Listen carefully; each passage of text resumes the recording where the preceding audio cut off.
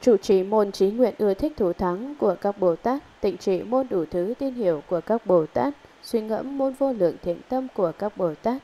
Thiện tài đồng tử từ biệt di già đại sĩ mà đi về hướng Nam giữa đường suy ngẫm pháp môn trí huệ vô ngại giải thoát Đà La Ni và sinh ra quang minh trang nghiêm của tất cả Bồ Tát, làm sao tu hành mà đắc được.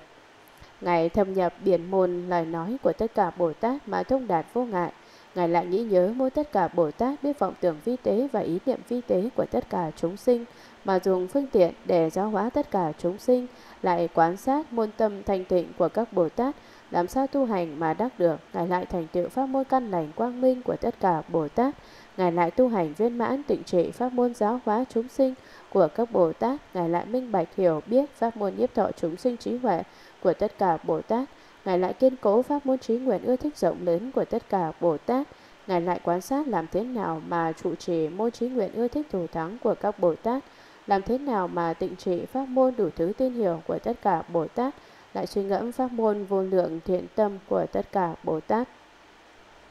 Thể nguyện kiên cố, tâm không nhảm mỏi, dùng các áo giáp mà tự trang nghiêm, thầm tâm tinh tấn không thể thối chuyển, đầy đủ niềm tin bất hoại, tâm kiên cố như kim cang và na la diên không gì phá hoại được, giữ gìn lời dạy của tất cả thiện tri thức, nơi các cảnh giới đắc được trí bất hoại, phổ môn thanh tịnh, chỗ làm đều không ngại, trí quang viên mãn chiếu khắp tất cả, đầy đủ các địa tổng chỉ quang minh, biết rõ pháp giới đủ thứ khác biệt, không nương không chủ, bình đẳng không hai, tự tánh thanh tịnh mà trang nghiêm khắp, đối với các chỗ làm đều được rốt ráo, trí huệ thanh tịnh, lìa các chấp trước.